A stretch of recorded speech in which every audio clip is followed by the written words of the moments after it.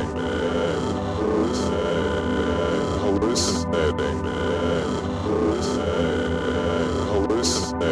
you going to enjoy good music without good marijuana?